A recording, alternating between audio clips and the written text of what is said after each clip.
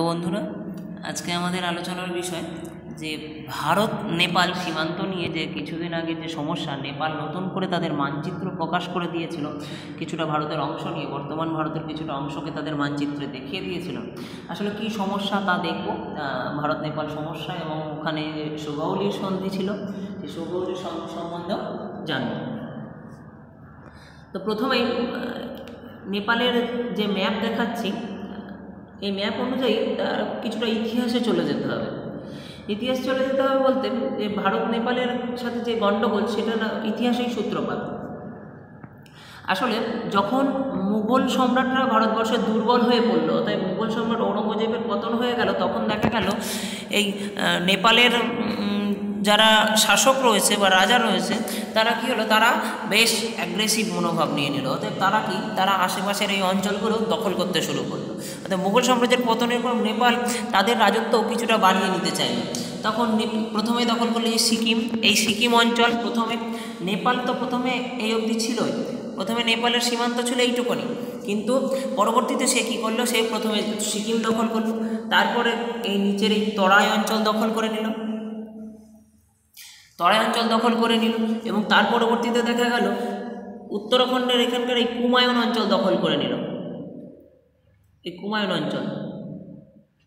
এই কুমায়ুন অঞ্চল দখল করল এবং পরবর্তীতে দেখা যাচ্ছে যে তারও পরে গাড়োয়াল অঞ্চল দখল করে নিল। এগুলো এরকম করে মার্ক করে দিই যে এগুলো নেপালের এরিয়া হয়ে গেল। যেগুলো দাগ দিয়ে দিয়েছে সেগুলো হচ্ছে নেপালের দখলীকৃত এরিয়া এই অঞ্চলগুলো নেপাল নতুন করে দখল করে নিল। এর পরবর্তীতে কি করল? ব্রিটিশ সরকার মানে মুঘলরা চলে যাওয়ার পর আমাদের ভারতবর্ষে এসেছিল ব্রিটিশ সরকার। ব্রিটিশ সরকার তখন দেখল যে, না, নেপাল তো বেশ অনেক দূর এগিয়ে চলে এসেছে। দখল করতে করতে অতএব নেপালকে এখনই রোখা দরকার।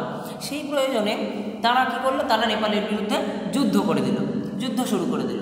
এবং এই যুদ্ধই ইতিহাসে অ্যাংলো নেপাল যুদ্ধ নামে পরিচিত এবং এই যুদ্ধ হয়েছিল আঠেরোশো চোদ্দ থেকে আঠেরোশো ষোলো খ্রিস্টাব্দ পর্যন্ত। অর্থাৎ এই যুদ্ধ ইতিহাসে পরিচিত, অ্যাংলো নেপাল যুদ্ধ নামে পরিচিত। এবং নেপালের কাছে নেপালকে ব্রিটিশরা যুদ্ধে হারিয়েও দিল এবং হারিয়ে দেওয়াতে তারা আবার সমস্ত জায়গা অর্থাৎ তার আগে আরও একটা কথা মনে করিয়ে দিই। নেপাল যে নতুন করে সাম্রাজ্য বিস্তার করেছিল, তাতে নেপালের সীমানা হয়ে দাঁড়িয়েছিল এই পশ্চিম দিকে তিস্তা অর্থাৎ এইদিকে তিস্তা নদী আর এইদিকে শতদ্রু নদী। মাফ করবেন, শতদ্রু নদী পর্যন্ত।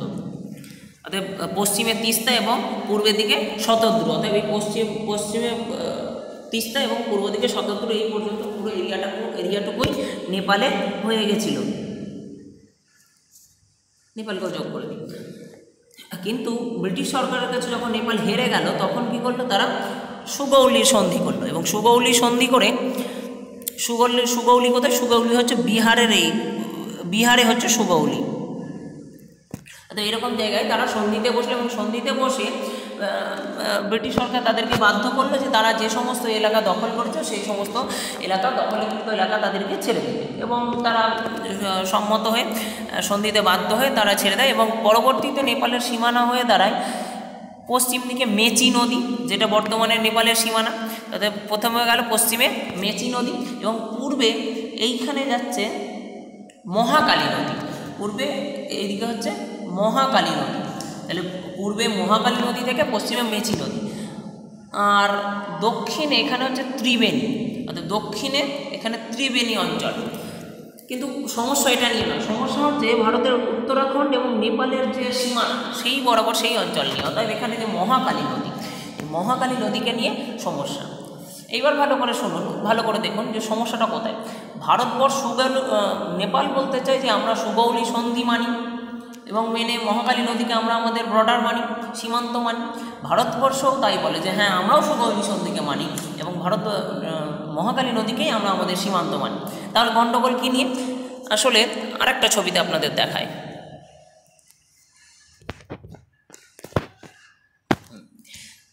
এই ছবিতে একটু বড় করে দেওয়া আছে।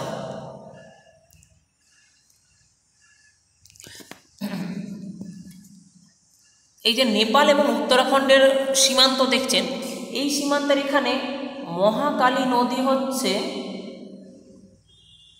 এই যে, এটা হচ্ছে মহাকালী নদী। এবং মহাকালী নদীর সমস্যা হচ্ছে তিনটে তিনটে ছোট ছোট নদী জুড়ে আমি যেখান থেকে মহাকালী নদীর দাগ টেনেছি, তিনটে ছোট ছোট নদী জুড়ে এসে মহা, একটা বড় মহাকালী নদী সৃষ্টি হয়েছে। অর্থাৎ এপাশে একটা নদী, এপাশে একটা নদী এবং এখানে আরেকটা নদী। একদম বাঁ দিকের যে নদী, এটার নাম হচ্ছে লিম্পিয়াধুরা তারপরে মাঝখানে নদীটার নাম হচ্ছে কালী নদী এবং একদম ডান দিকের নদীটার নাম হচ্ছে লিপু লেক। অতএব, লিপু লেক, কালী এবং লিম্পিয়াধুরা সমস্যা হচ্ছে এইখানে। সমস্যা হচ্ছে নেপাল, ভারতবর্ষ এতদিন এই লিপু লেকের বাঁপাশ থেকে পুরো অঞ্চলটুকুনি ভারতবর্ষের রাজ্য হিসেবে, অঙ্গরাজ্য হিসেবে ঘোষিত। উত্তরাখণ্ডের বিশেষ অংশ এবং এইখানে যে জেলা, তার নাম হচ্ছে পিথোরাগড় জেলা। এই যে পিথোরাগড় জেলা, এইখানকার এই পুরো অংশের নাম হচ্ছে পিথোরাগড় জেলা। এবং এখানে ভারতবর্ষের জওয়ানরাও আগাগোড়া টহল দেয় এবং এখানকার যে কোনো প্রশাসনিক কাজ থেকে শুরু করে সমস্ত কাজই করে ভারতবর্ষের সৈনিকরাই। ভারতবর্ষের প্রশাসনিক কর্তারাই কিন্তু সমস্যা হচ্ছে এই যে, নেপাল কিছুদিন আগে দাবি করে যে তারা যে কালী নদীকে, তারা যে মহাকালী নদীকে তাদের সীমান্ত হিসেবে মানে তা হচ্ছে এই লিম্পিয়াধুরা নদীকে, নদীর পশ্চিম পাড় থেকে। অতএব তারা যে এতদিন পর্যন্ত লিপুলেখকে লিপুলেখ পর্যন্ত তাদের শেষ সীমানা মেনে আসছিল, তারা তা মানতে অসম্মত হয়। এবং লিম্পিয়াধুরাকেই তারা তাদের ম্যাপে দেখিয়ে দেয়, তারা যে নতুন প্রকাশিত করেছে নতুন ম্যাপ প্রকাশ করেছে, তাতে দেখিয়ে দেয় লিম্পিয়াধুরা পর্যন্ত তাদের সীমানা। এখন প্রশ্ন হচ্ছে, এটা হলো কেন? পরবর্তী আরেকটা ছবিতে দেখিয়ে দিই। আসলে এই ছবিতে আপনাদের কাছে পরিষ্কার হবে। যে একদম পশ্চিম প্রান্তে হচ্ছে লিপুলেক পূর্ব প্রান্তে লিম্পিয়াধুরা আর মাঝখানে হচ্ছে কালাপানি।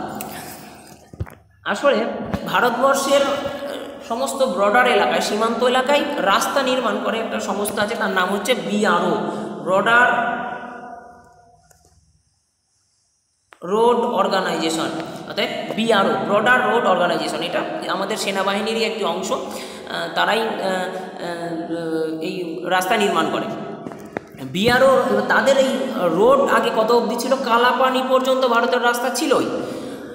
ভারত চাইছে যে তারা এখান থেকে লিপুলেখ পর্যন্ত লিপুলেখের এখানে গিরিপথ আছে। এখানে লিপুলেখের এখানে গিরিপথ আছে। অর্থাৎ লিপুলেখ থেকে কালাপানি থেকে যদি লিপুলেখ পর্যন্ত রাস্তা একবার বানিয়ে দেওয়া যায়, তাহলে চীনে যে আগেকার তিব্বত এবং বর্তমান চীনের যে এখানে যে মানস সরোবর আছে, অতএব যারা পুণ্যার্থী, ভারতবর্ষ থেকে যে সমস্ত পুণ্যার্থীরা মানস সরোবরে যেতে চাইতো, তারা কী করতো, তারা সেই সিকিম হয়ে অনেক দূর, অনেক দুর্গম পথ অতিক্রম করে তাদেরকে যেতে হতো। কিন্তু যদি লিপুলেকের একদম কাছে অবস্থিত হওয়ায় মানস সরোবর লিপুলেক পর্যন্ত বিআরও তাদের রাস্তা তৈরি করতে শুরু করে এবং রাস্তা তৈরি করেও দেয়। তখনও পর্যন্ত নেপাল সরকার কোনো আপত্তি জানায়নি। কিন্তু যখন রাস্তা তৈরি হয়ে গেছে, তখন সে তো অবশ্যই সে চীনের ইশারায় তারা এখন দাবি করে যে রাস্তা তোমরা যে এখানে রাস্তা বানিয়েছো সেই রাস্তা ভুল, এটা আমার এরিয়া। অতএব হঠাৎ করে লিপুলেক এবং কালাপানি এই অঞ্চলকে নিজেদের বলে দাবি করে। অতএব সমস্যা সেই ইতিহাসের অনেক দিন আগে থেকে হয়ে রয়েছে। সমস্যাটা কি পুরোপুরি ক্লিয়ার হয়ে গেল? আসলে আর এই যে অতএব বর্তমান ম্যাপে নেপাল দেখিয়ে দিয়েছে যে এই এতখানি জায়গাও তাদের নেপালের অন্তর্গত। এগুলো সমস্তটাই নেপাল এবং এইটা ডিসপুট এরিয়া বলে বর্তমানে এই এরিয়াকে নিয়েই বিবাদ চলছে ভারতবর্ষ এবং নেপালের মধ্যে। তাই আশা করা যায় যে ভারতবর্ষের কূটনৈতিক মহলের বিভিন্ন প্রতিনিধিদের মারফত তারা তাদের এই সমস্যাকে মিটিয়ে নেবে এবং ভারত নেপাল সম্পর্ক আবার অটুট থাকবে। এই ব্যাপারে আরও একটা সমস্যা আছে। নেপাল যে চীনের কথা শুনে আজকে এই ভারতের সাথে যে বিরোধিতা করছে, আসলে ভারত যদি নেপালের দিক থেকে চোখ সরিয়ে নেয়, তাতেও নেপালের অনেক অসুবিধা আছে। তার কারণ, ভারতবর্ষে নেপালে যে সমস্ত খাবার থেকে শুরু করে যা কিছু আসে, তা সবই ভারত থেকে। এবং নেপালের যে উত্তরী ভাগ, এই উত্তরের দিকে, অর্থাৎ যেদিক চীনে, চীনের দিকে যে সীমান্ত, সেই দিকে কি অত্যন্ত দুর্গম পাহাড়ি এরিয়া অর্থাৎ এইদিকে অত্যন্ত পাহাড়ি এরিয়া অর্থাৎ প্রচুর বড় বড় পাহাড়। এইখান থেকে খাবার দাবার যদি পাঠায় চীন থেকে চীন থেকে যদি, চীন থেকে যে আলুটা দশ টাকা কিলো যদি পাঠায়, তাহলে এখানে খরচ হয়ে নেপালে পৌঁছাবে, তখন হয়ে যাবে আড়াইশো টাকা কেজি। অথচ ভারত থেকে পাঠালে দশ টাকার আলু খুব বেশি হলে এই ভারতের এই সমস্ত, এই সমতল এরিয়া, এই সমস্ত জায়গা দিয়ে নেপালে ঢোকার জায়গা আছে। অতএব এই সমস্ত এরিয়া দিয়ে গেলে দশ টাকার আলু খুব বড় জোর বারো টাকা হবে। অতএব নেপালকেও সেই বুঝেই সিদ্ধান্ত নিতে হবে। সে যদি চীনের কথা শুনে যদি এইরকম তুগলকি সিদ্ধান্ত নিতে থাকে বা অন্যের জায়গাকে অর্থাৎ ভারতবর্ষের ভূখণ্ডকে যদি নিজের ভূখণ্ডে জোড়ার চেষ্টা করে, হয়তো নেপালকেও এর পরবর্তীতে ফল ভুগতে হতে পারে। আজকে আমাদের ভারত নেপাল বিবাদ সম্বন্ধে যা বলার বললাম, আপনারা কি বুঝলেন না বুঝলেন, অবশ্যই কমেন্ট করুন, জানান। ধন্যবাদ।